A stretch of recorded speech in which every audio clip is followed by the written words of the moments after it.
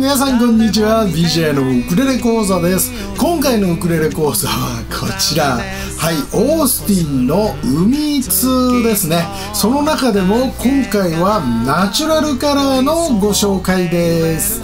はい見てください。なかなかあの珍しい色ですよね。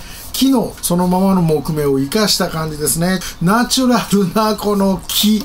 はい、えー、以上これ好きですね。まず音の方から聞いていただきましょう。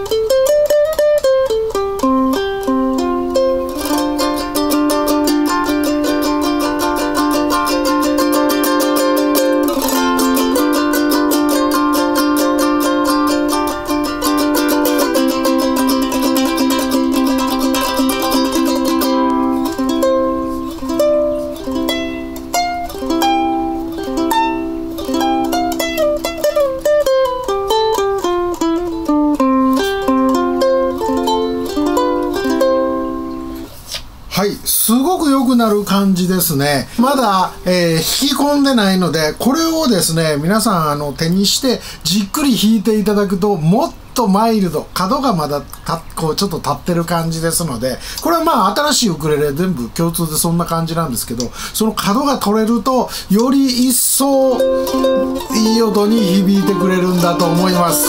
はい。とにかくすごくいい感じですね。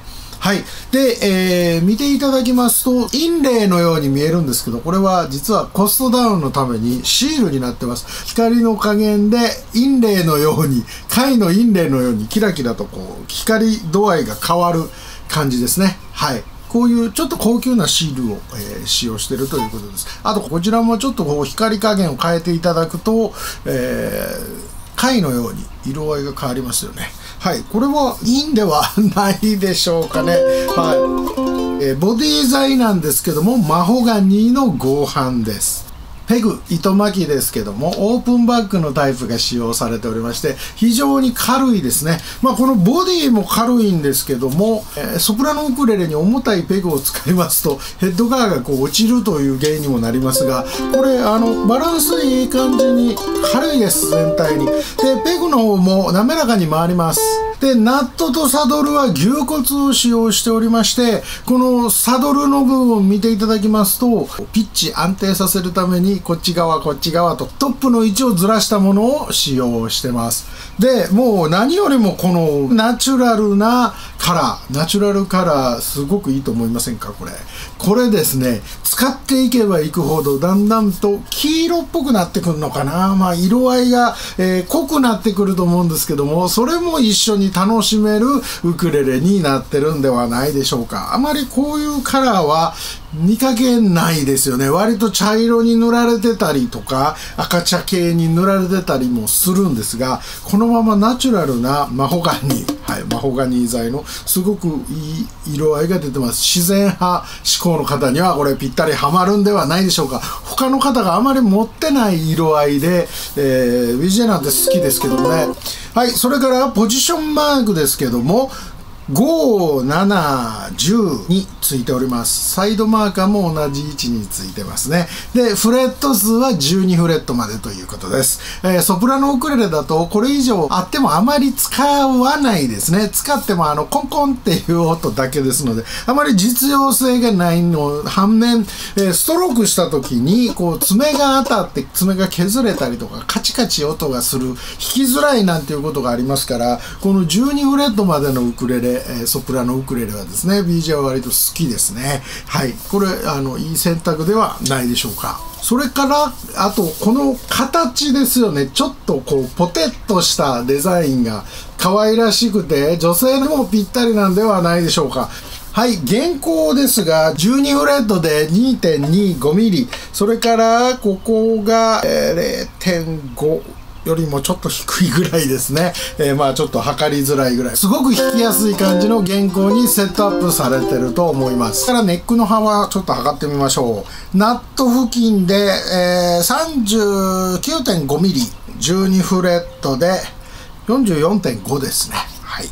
それからネックの厚さですけども、ナット付近はちょっと肉厚になってますので、1フレットあたりで見ますと、16.5ミリですね。それからこの辺で見てみましょう。7フレット付近で、19.5ミリの厚さがあります。これはあのフレットを含まない指板からこのネックのこのトップの部分までですね、裏側のトップの部分までの厚さを今測ってみました。すごく握りやすいと思います。はい、リーズナブルなウクレレには、えー、太かったり、こう分厚かったりとかっていうネックがあるんですが、このオースティンの海津、すごく握りやすいと思います。はい、手の小さな女性でもいけると思います。で BJ ぐらい太い指でもしっかりと弦を押さえることができるちょうどいい感じのネックですね。はい、このイタリア産のアクイラこの弦もいいんですがこれをですねブラックナイロンに変えたりあとはですねオルカスに変えたりいろいろ弦を変えてみるとまた音色がコロッと変わってその辺も楽しめるのではないでしょうか。はい、この海津、えー、美女すごいお気に入りですね。はい、皆さんもいかがでしょうで、この海通にも、いつもあの、オースティンの、えー、ウクレレはそうなんですが、えー、おまけがたくさんついておりまして、そのおまけを紹介したいと思います。はい、一番最初に出てきました。これ、チューナーですね。ウクレレを弾くときに必ずチューニングはしてください。はい、弾くときに必ず必要になるもの、このチューナーですね。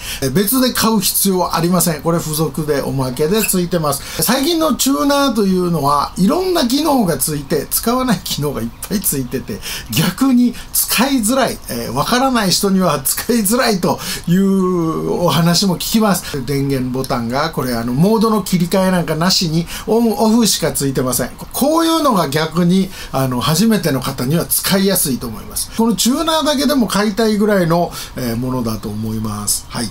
ケース。はい。海の声ケースと言いまして、ちょっと見てください。この葉っぱの感じがちょっとハワイっぽくていいんじゃないですか？はい、海っぽい感じ、海の声という、海の声ケースというふうに言われてるものなんですけども、はい、こういう感じで、しっかりとしたケース、背中に背負うこともできます。こうやって、えー、背中のストラップの長さも変えることができます。はい、もちろんあの背中に背負わなくても、ここをこうやって持ち運ぶことができます。BJ はこうやって持っていくんですよね。あの、こちら側にこうやるのもいいんですが、電車乗ったりするときに人に当たったりとか、もしくは傷ついたり、汚れたりしても嫌じゃないですか。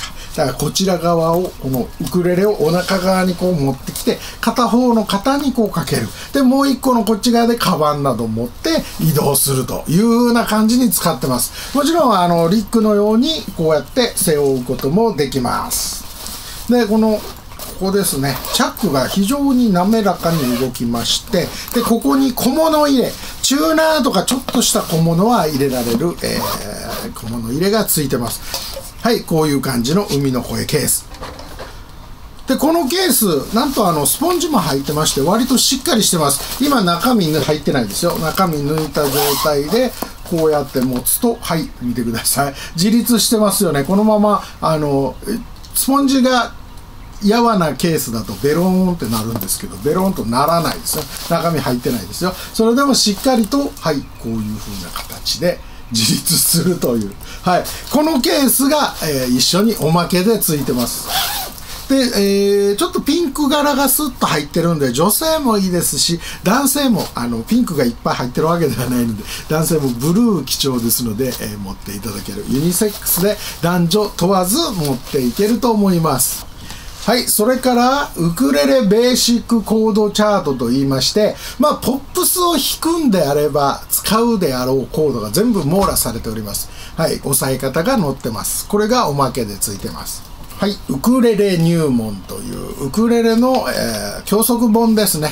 えーまあ、最初にウクレレの持ち方とか、ウクレレの歴史、それから弦の張り替え方、えーウクレレの持ち方、構え方、弾き方。で、最後の方には、えー曲がありまして、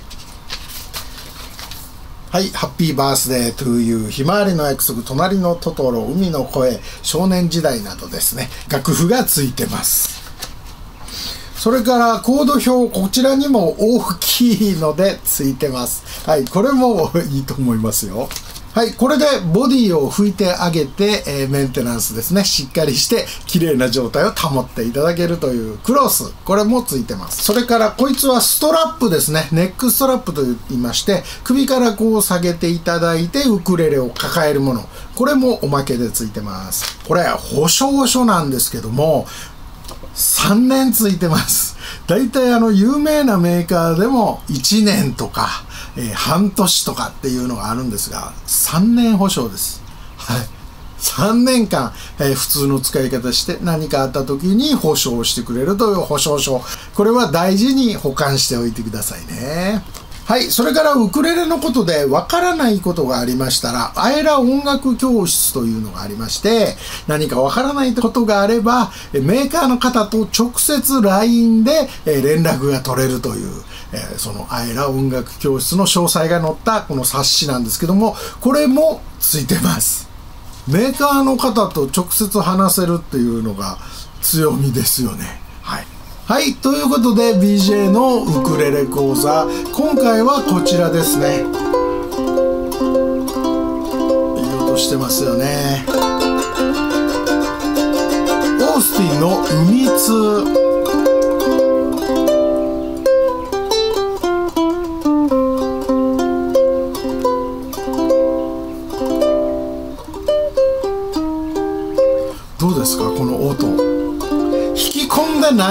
ない状態でこの音ですからね。これをさらに引き込んであなたの音に仕上げていただくと。で、その頃にはこのナチュラルカラーのボディトップもちょっとこう色づいてきてですね、いい感じの飴色になっていくのではないかなと思います。なかなかこのナチュラルカラーっていうウクレレ少ないですからね。はい。これを育てて一緒に腕も育てるという風な感じでいかがでしょう。初心者の方には、えーベストなウクレレなのではないかと思います。はい海通にはですねこれ以外に色違いでアンバーブラウンとミッドナイトブルーという2色、えー合計3色展開されております。どの色も欲しくなる魅力的なウクレレだと思います。はい。ということで、BJ のウクレレ講座。今回は、オースティンの海通。はい。こちらをレビューさせていただきました。このウクレレの詳細、価格などにつきましては、動画下の説明文のところに商品リンク貼っておきますので、そちらで確認いただければと思います。はい。DJ のウクレレ講座でした。また別の動画でお会いしましょう。さようなら。星空を見ることはできないだから。今は瞬き